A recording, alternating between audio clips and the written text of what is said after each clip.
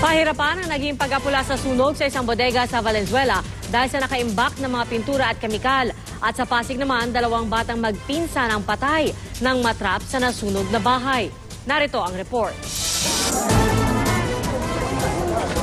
Patay na ng ilabas ang magpinsang Arlene Alvarez, limang taong gulang, at Rizzy Anne Pumoseno, apat na taong gulang.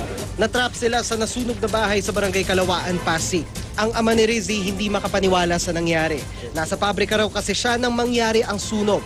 Anya, naglaro ng lighter ang mga bata. Inaalam pa rin ang sanhi ng sunog. Pahirapan naman ang pag-apula sa sunog na ito sa bodega sa Valenzuela dahil sa nakaimbak na pintura at kemikal.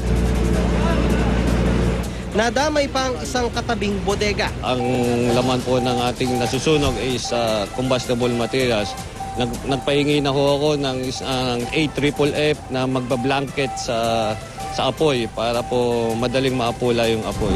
Protective gear ang mga bombero. Pero nung una, kapansing-pansing, halos wala silang proteksyon.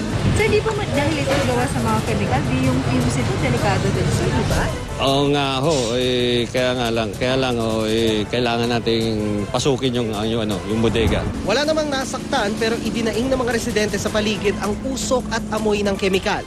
Nalalanghap nga po eh, napaka, masakit sa ano, kanina pa nga masamang pakiramdam ko sa amoy ng ano, yung usok.